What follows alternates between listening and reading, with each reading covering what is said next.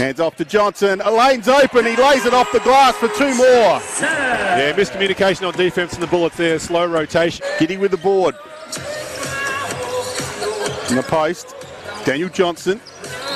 Nice little move from DJ. Made the bucket. Got the foul. Just in terms of his league standing as well, he's just a, a walking bucket. 20 and 10 every night. You just, One shot. you know, Tasmanian kid, uh, real tough as nails, and you know, excellent three-point shooter as well. As DJ puts up a long bomb over Harry Froling, and a nice 10-5 lead for Adelaide. Outlet pass to Tees. Back to Giddey. A little bit of showtime from him between the legs. Daniel Johnson just standing still. Ten. Dylan. Nice little feed to DJ. Daniel Johnson. And two more. Sixers get first possession. DJ in the post. Lovely little spin move. Too easy for Daniel Johnson. Feed to Humphrey. Sixers are running again. DJ thought he travelled.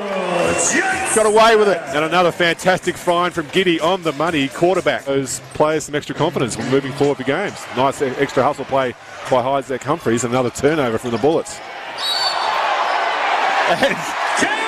Kendall sat on the back of Daniel Johnson until he was fouled. Kissed off the glass, and we got a timeout to the Bullets. Yeah, 100% right, Sap. It's some really important minutes, 4.30.